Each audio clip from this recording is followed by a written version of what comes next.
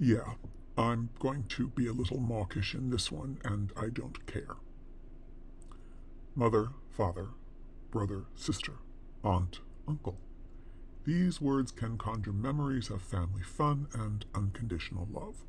Or, on the other side, can trigger darker memories depending on, say, the particular sister or uncle you might be talking about and the relationship you have with them. I have a soft spot for grandmothers.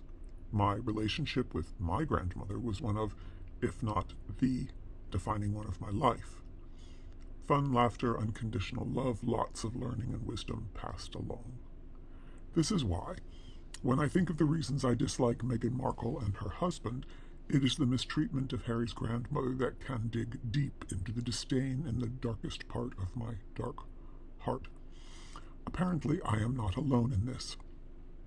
A recent article in the Daily Beast by royal correspondent Tom Sykes spells out just how outraged the late Queen's friends are at the behavior of the prodigal prince and his unfeeling wife, the way they treated his grandmother in the last months of her life.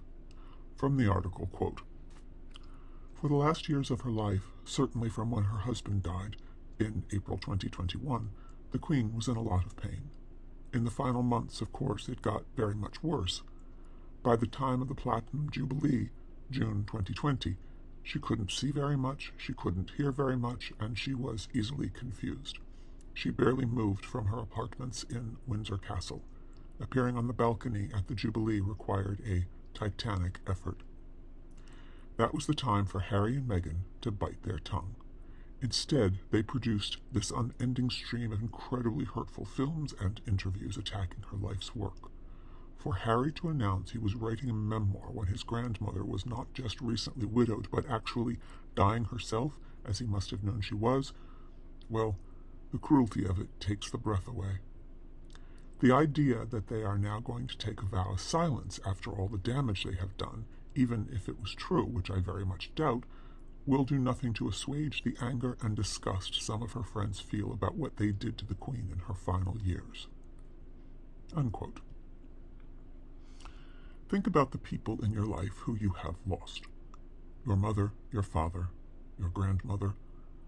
What would you give to be able to spend one more hour with your mom, or dad, or granny? How selfish do you have to be to go out of your way to harm your beloved grandmother in her last days? How cold do you have to be to refuse multiple invitations to visit your grandmother as she is dying?